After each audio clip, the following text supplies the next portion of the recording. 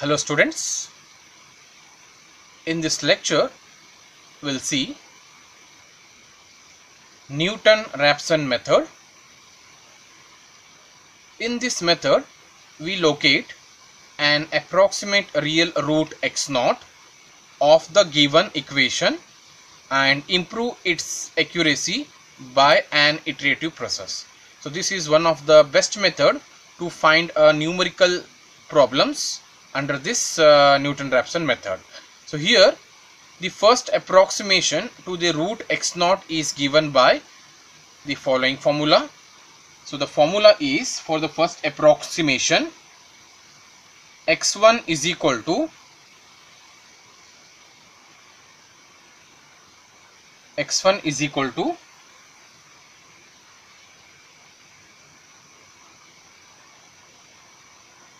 x naught minus f of x naught divided by f dash of x naught. So this is the first approximation formula. Means to get x1 so from the given equation f of x we need to get the value of x naught. So x naught is nothing but initial approximation. We have to get it from the uh, once we uh, means from the initial root so initial root uh, we know how to proceed it. So one positive and one negative what will get the value. So from there we have to collect this x naught and we need to apply. And whatever f of function f of x function is there we have to differentiate. And in the f of x and the differentiation of that uh, f of x we need to apply the initial value and we'll get the first approximation. Similarly the second approximation is given by second approximation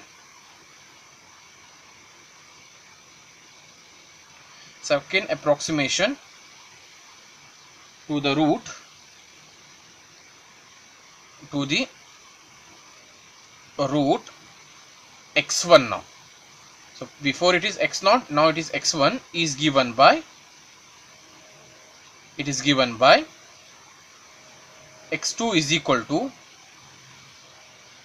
x1 minus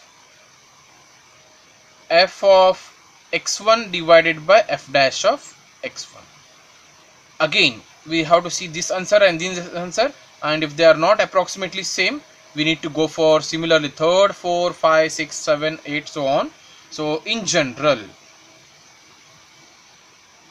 in general we can write it as x of n plus 1 divided by xn minus f of xn divided by f dash of xn.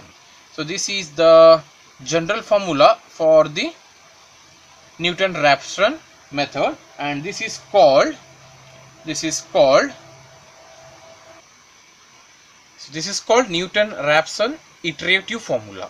So this is the general formula you can if you want to go for third iteration put n is equal to